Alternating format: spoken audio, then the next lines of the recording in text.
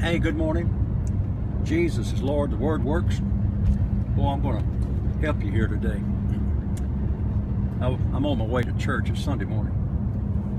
And I watched my program about shopping at Walmart with those two Walmart cards. And I want to remind you that Romans 12:3 says that God hath dealt to every man the gift of faith. So God gave you the gift of faith. But now watch this. This is very unreligious. He gave it to you so that you could get your desires met.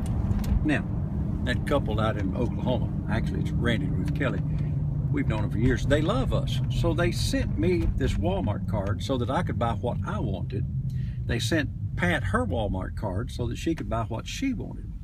Well, God gave you the gift of faith because of His great love for you and because He wants you to be able to take that medium of exchange into the kingdom and get what you want. Now, um, you know, some people might take this and get offended with it. I hope you don't. They didn't send that to me so that I could stop up here at the uh, welfare place. That's not the right word, but you know, we have a thing called the foundry here where you take your old clothes and stuff to give away uh, to folks. They didn't give that to me to stop up here and buy some poor person a pair of shoes. They gave it to me for me to spend on me. And there's this religious idea that God gave you faith so that you could help somebody else. In fact, I'm going to be very blunt about it. They call it money with a mission. You know, you ought to believe God for a million dollars so that you can give it to me in the ministry. That's called money with a mission, and that's what all preachers are preaching. You know, sow a seed and get your faith in there and believe God for a lot of money so you can help me preach the gospel. They didn't give that. Randy and Ruth didn't give that to Pat and I in order for us to give it to somebody else. They gave it to me because they love me and they want me to get what I need.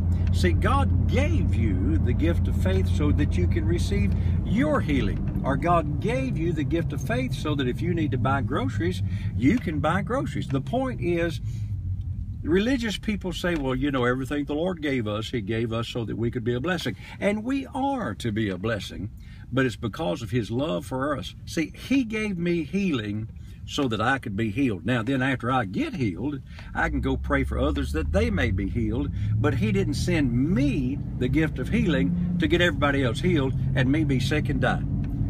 I believe y'all will meditate on that and get that today. God so loved you that he gave you the gift of faith so that you could get your desires met.